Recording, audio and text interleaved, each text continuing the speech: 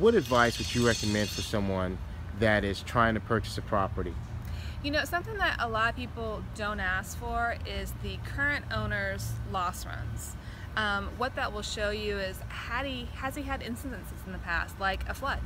Um, you, may, you might be in an X flood zone, but as we learned in April, a lot of people flooded thought they would never flood. Or has he had a um, someone come in and shoot up the building? Or has he had a lot of fires? So those things can be trends. Um, so that's something to think about when you're buying a building, and a lot of people don't ask for that. What type of trends do you see in the market right now for insurance? So for the property insurance market, it's been really soft. I've been seeing rates down 5%, even 15%.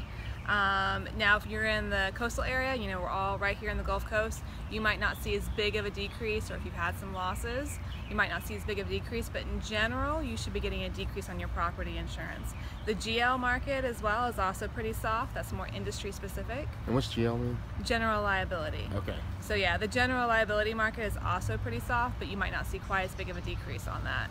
So if I own commercial property, um, in Northwest Houston versus the Galleria, is there a significant difference in what my premiums are?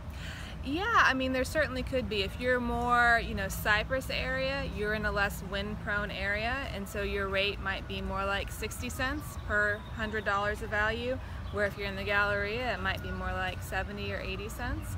Now, if you're down in Baytown, it's certainly going to be closer to a dollar. It also depends on how much property you have. If you have a million dollars in property, your rate's going to be higher, but if you have a hundred million, it's going to be lower.